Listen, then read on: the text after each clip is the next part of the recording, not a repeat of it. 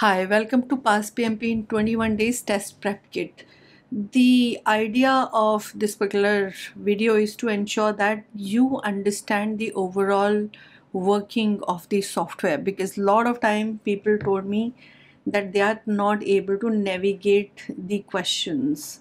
Now, the first thing which you should know is the navigation here. This is your navigation bar. Make sure this is always open um, the other thing is the questions and the plans are given here. Download the plan as per um, if you are a 2021 person which has gone ahead and done training, you have allo choice uh, content. Download this plan to follow it. In case you have only PMBOK 6, then download this plan. Now what you have is um, there are uh, questions which are on team and stuff like that so let me show you how do you go ahead and do the um, device questions.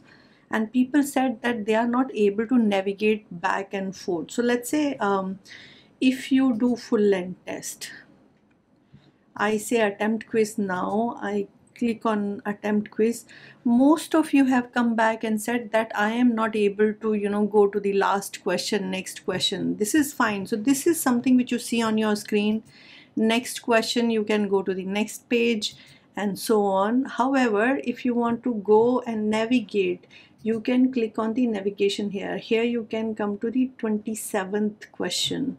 You can flag the question so a flag gonna come here and then move to the next page. It also tells you which question you have done. So the number the color gonna get changed here.